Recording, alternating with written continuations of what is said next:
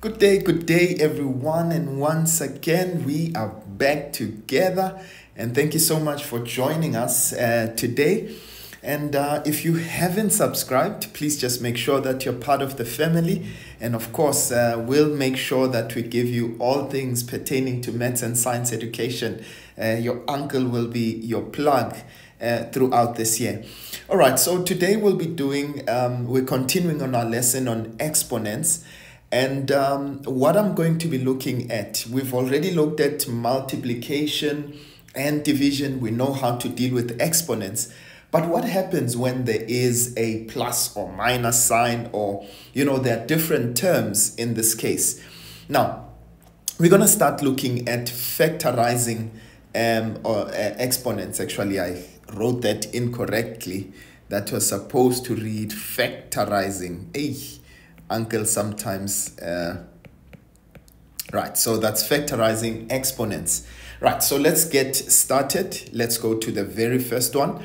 Right so in this case you've got 3 2n um, uh, to the exponent 2n plus 1 minus 3 to the exponent 2n and that is divided by and 9 this is 9 not a Okay, so that's 9 exponent n minus 3 exponent 2n minus 2. All right, now let's go right into it.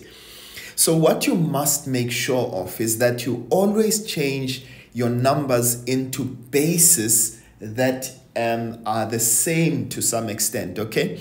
And my rule is always to say to you, always try to change to bases that are, uh, uh, as I said, prime factors. Always change bases uh, to uh, prime factors. Of course, th this is when base are numbers, right?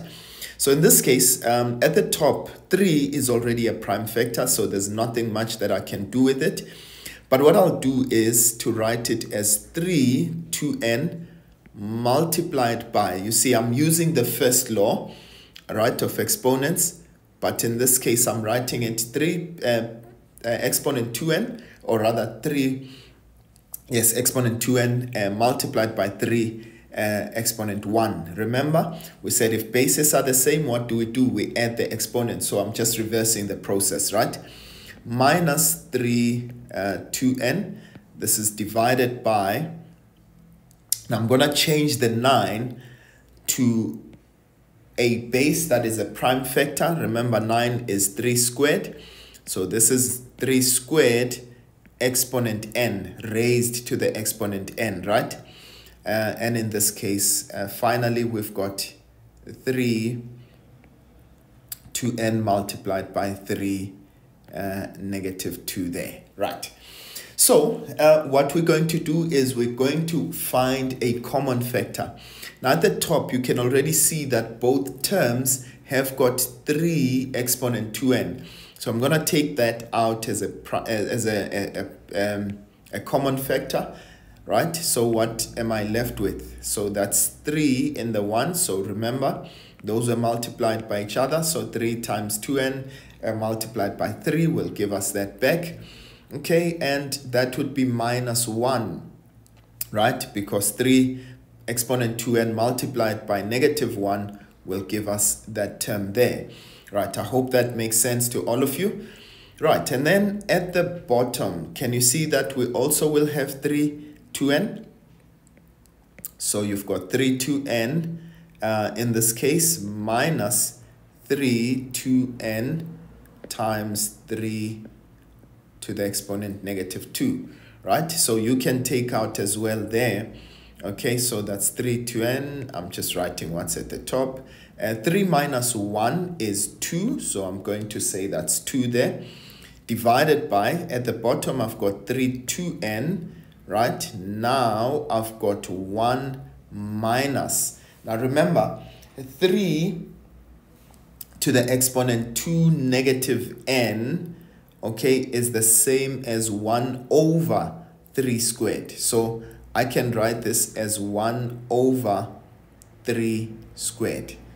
Do you remember that? Okay. Uh, in this case, I'm using that other law. So in this case, what do we have? Of course, these two can cancel out. So I've got 2 divided by, so 1 minus 1 uh, uh, over 3 squared, which will be 1 minus 1 over 9. That will give us 8 over 9, right? Okay, you can actually use your calculator there. So this is the same as 1 minus 1 over 9. So that will give us 8 over 9. And of course, we can just multiply in this case. So this is the same as 2 over 1 multiplied by 9 over 8. Okay, 2 goes into itself once and into uh, 8 four times. So our final answer will be 9 over 4. Sorry about that mess, uh, but hopefully you understand. Okay, right. So in this case, that is our final answer 9 over 4. You can try it on your own and see what you get there. Now, I wanted us to look at this one. Uh, remember, we're still looking at factorizing um, exponents, right? So how would we actually factorize this? Can you see that this is the difference of two squares, right? So in this case, when we've got two squares, um, uh, what would be, uh, remember if we said if you've got something like a squared minus 1, what that gives you is a plus 1 uh, a minus 1 when you factorize it. Remember, uh, for those of you who haven't looked at our, our videos on factorization, please have a look at them, right? So this is the, uh, the difference of two squares. So you'll see that this is a to the 1, a to the 1, and in this case, once you multiply them, obviously the exponents uh, add, right? So what are we going to have here? What would be the square root? It would be a to n because 2n plus 2n will give me 4n. So that will be minus 1 and that's a to the 2n uh, plus 1. So that is what, um, you know, we will get there. As you guys rightfully say, that is how the cookie crumbles, right? So in this case, uh, we've got another example which I wanted to do with you. Right, so what are we going to do? I'm sure you can already see it. Okay, we break numbers down into prime factors. They already are prime factors in this case, or prime numbers. So we've got 3n multiplied by 3, right? Minus 3 exponent n divided by 2. So at the top, we can say, well, take out 3 exponent n, right? And so what does that give us? That's 3, right? Minus 1 and all of this divided by 2 okay so you can see at the top we've got 3 minus 1 which is going to be so we've got 3n uh, this is going to be 2 all of that divided by 2 and so these two cancel and what am I left with? 3 exponent n. That would be our final answer. Right? I'm sure you're getting the gist of it. All right now um, in this case, we're given 6, we've got 3, we've got 2, we've got uh, another 3 there, right? So what are we going to do in this case? Right, so we're going to change the 6. Remember I said to you, change everything into prime factors. So 6 is 2 multiplied by 3 raised to the exponent n. So I've changed that 6 into 2 times 3 okay so this one is 3n multiplied by 3 right? Divided by we've got 2 exponent n plus 3 we'll try to factorize as much as we possibly can right? Now we're going to use our third rule right we said if we are going to have bases multiplied and we're raising them to the exponent so it means that this will be 2 raised to the exponent n multiplied by 3 uh, exponent n plus 3 exponent n multiplied by 3, right?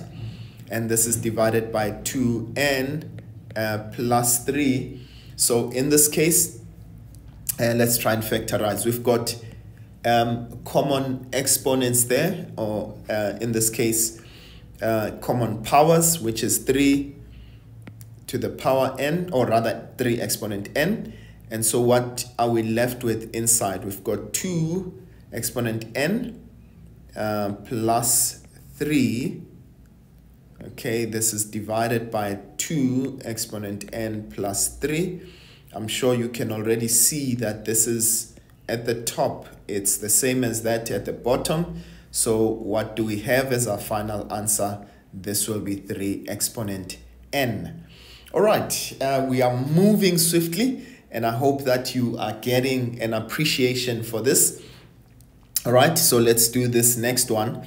So we've got 5 uh, exponent 2n, okay, so that will be 5 exponent 2n multiplied by 5 uh, plus 5 exponent n times another 5 okay it's easier when you write it that way so that you can see what the common factors are.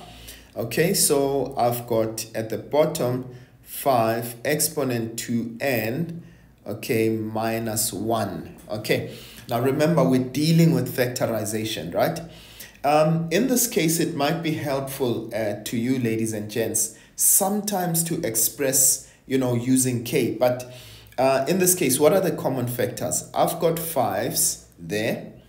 But can you see that you'll also have, this is the same as saying 5 exponent n times 5 exponent n, right?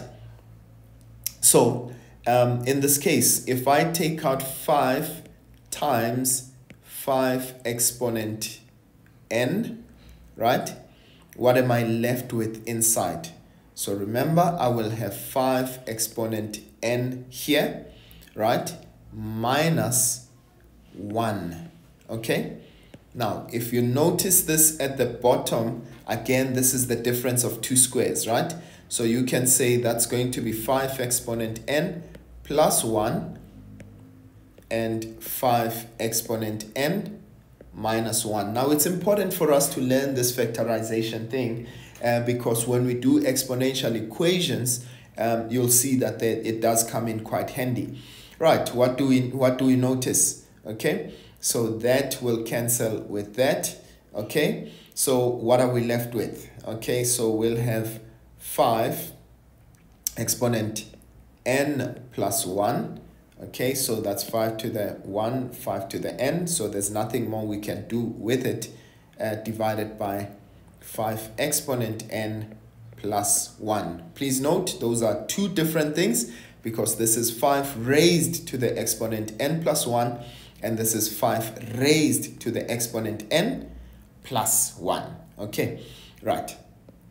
So 1 is in the exponent here, uh, 1 is in the base here. All right, let's go on.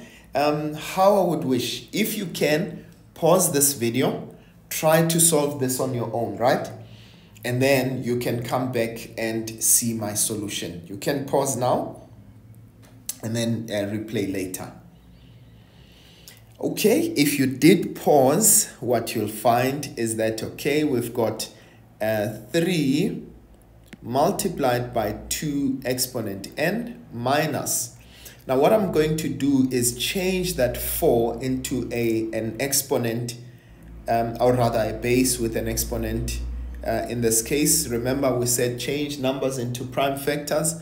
So this is going to be 2 squared, right? So that is multiplied by 2 to the exponent n um, minus 2. Okay, so in this case, at the bottom, we've got 2n multiplied by 2 and minus 2 raised to the exponent n. Right, so once again, let's try to do what we've been doing all along. Um, at the top, I've got 3 multiplied by 2 and I'm sure some of you have even realized that uh, we can actually add those. Bases are the same and we are multiplying. So what do we do? We add the exponents. So this is going to be n minus 2 uh, plus 2 Remember that 2 is added there. So in this case, those cancel. Okay. So uh, in this case, what do we have? We've got at the bottom, I can take out 2 exponent n. So what I'll be left with is um, 2 minus 1. Okay. Um, so uh, at the top, let's try and simplify even further. Okay, so we've got 3 exponent 2n and we've got, uh, so we can take out 2 exponent n. That would be 3 minus 1 and at the bottom you've got 2 exponent n, 2 minus 1, and I'm sure you can see how these cancel. And we've got 2 minus 1, which is, I mean 3 minus 1, which is 2, and 2 minus 1, which is 1, and so our final answer will be 2. All right, uh, please just check it out. Okay, and once again, uh, I want us to take this last one, uh, but please, once again, ladies and gents, uh, try to pause it, okay, and see how you can actually uh, just um, do that one on your own. Uh, I wanted to show you this K method uh, that I wanted to, uh, yeah, that I want to illustrate to you. That I mean, you've got 3 2n and you've got 3n. You can actually say let 3 exponent n equal to k, right? So what will that do?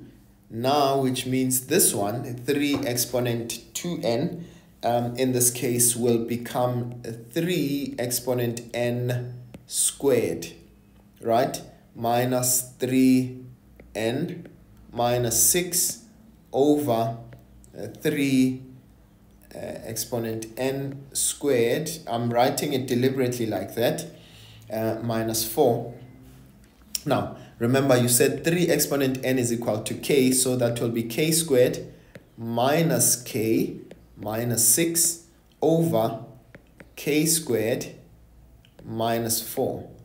Um, I'm sure you can see how those are uh, quadratic equations. So you can say, well, this is going to be uh, k. Now, if I factorize that, that's going to be uh, 3 and k2. Okay, so in this case, that would mean that is minus and plus okay and the bottom you can see how that's going to be difference of two squares so that's k plus 2 uh, k minus 2 right uh, now I can cancel out what is the same there so what do I have as our final answer this will be now let's substitute uh, 2n for k so this will be 2n okay uh, let me just write that properly Right, so that would be 2n minus 3 divided by 2n minus 2. There's nothing more you can do from here. All right, um, uh, yeah, you can leave that as your final answer. All right, uh, if you wanted to work with k, uh, I mean, uh, if you didn't want to work with k, it's still the same thing there. You could have taken out in this case you you notice. So sometimes it's a little bit difficult and particularly when they give you big numbers okay? Uh, always try to simplify it in such a way that you can use the k method substitution right? It would have been exactly the same thing uh, you would have realized this is uh, 3 to the 2n uh, and in this case what it uh, simply becomes uh, it's 3n minus uh, um, uh, we said 3 okay and that would be uh, 3 exponent n uh, plus 2 and at the bottom you would have had 3n minus 2 uh, 3 exponent n plus 2 and of course those 2 cancel out and you would have 3 exponent n minus 3 over 3 exponent n minus 2, okay, which is exactly what we had there. Right, ladies and gents, I want to leave it there. Uh, but I just wanted to, uh, um, you know, obviously ask you to simplify this. Uh, so 8 exponent x uh, multiplied by 4 exponent x minus 2. All right. I want you to try and uh, um, get it into the simplest form possible, right? Uh, and let me know what that is. That's your homework in a sense, okay? Uh, please write on the comments and let me know what you get as your final answer. Otherwise, ladies and gents, I'll see you uh, next time, please don't forget to subscribe, don't forget to like and share, and tell as many people as possible. Otherwise, from me, your favorite uncle, I'll see you guys next time. Shap, shap.